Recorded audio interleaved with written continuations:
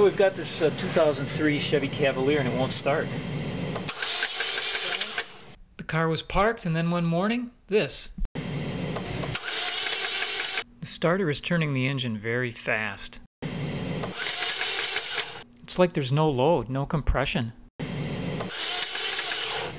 We're going to pop the valve cover off and have a look.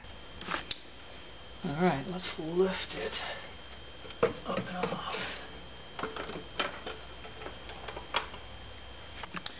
Okay, and here we have a loose chain drooping down in the middle. So when the chain became loose, it slipped and threw the cams out of sequence, out of timing sequence. The one on the right here, which is the intake cam, that's the actually the exhaust mark that's pointing up. This cam needs to be rotated more than 180 degrees to get the intake mark at approximately the 230 position. Likewise on the exhaust side, it's way out of position.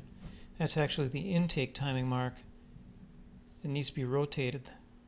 The gear needs to be rotated to get the exhaust mark at uh, the 10, in, 10 o'clock position with the cylinder 1 at top dead center. Okay, so here's the new chain and the old chain. And lo and behold, the old chain's quite a bit longer.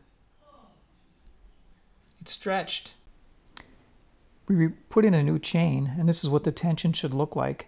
I replaced it with a kit, which includes the chain, two sprockets, the intent, the tensioner. That's very important because I think that was the fault uh, for this happening in the first place. So if your car won't start and it sounds like this, your engine has lost compression due to the cams and the crank being completely out of timing sequence. If you want to attempt to repair a problem like this, I'll put a link up in the end screen um, that may assist you. So thanks for watching, and please subscribe for more of this kind of content.